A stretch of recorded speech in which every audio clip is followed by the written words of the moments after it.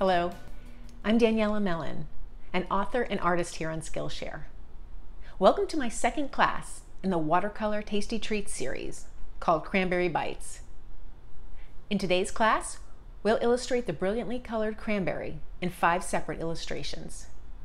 Cranberry's rich burgundy red color make for a striking and colorful painting and a great inspiration for breaking out the watercolor paints.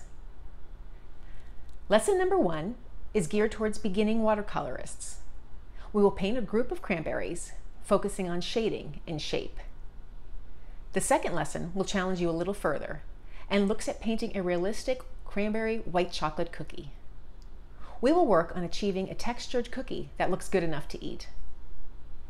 The third lesson is geared towards advanced beginners and intermediate watercolorists. We will use liquid frisket to preserve highlights in our cranberry crostini painting. Then, we will move on to paint a cranberry cookie bar, creating a textured cookie base, as well as silky frosting, cranberry bits, and white chocolate pieces. The fifth lesson is a painting of a cranberry cocktail, where we will paint a glass with translucency and reflections. The last three lessons are intended to challenge advanced beginners and intermediate watercolorists. There's also a bonus class for an adorable cranberry with a face, which all level of artists will find enjoyable. Each lesson is broken down into steps and layers to make it easy to follow along and create these illustrations.